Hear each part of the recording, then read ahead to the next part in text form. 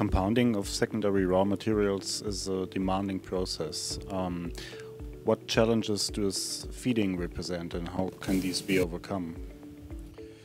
In feeding, the primary challenge with waste plastics, in contrast to primary material, is actually that it's heterogeneous in size, form, and bulk density.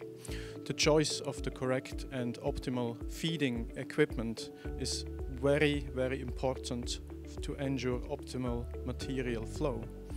Twin screw extrusion with gravimetric feeding work very precisely and thanks to the weighing signal they can react to bulk material changes and flow interruptions. What do recyclers need to be mindful of in raw materials handling of secondary raw materials? Upstream of the twin screw compounder, we handle the secondary raw materials. They differ in size, shape, product, property, and they are often inhomogeneous. They are difficult to discharge out of big bags, vessels, bins, silos, and difficult to convey to the production area. We have extensive process know-how to best discharge them out of the bins, big bags and vessels and we can, with our different conveying modes, safely convey them to the production area.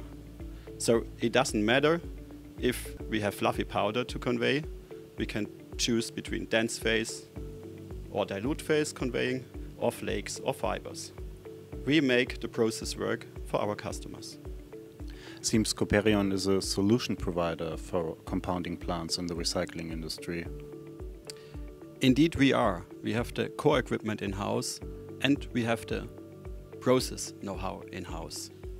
Since 20 years, constantly, we enlarge our global footprint in building compounding plants. So it was a natural move to adjust our compounding plants to the needs of the recycling industry. And compounding plants and recycling plants from Coperion are the best to reach highest quality plastics and plant availability.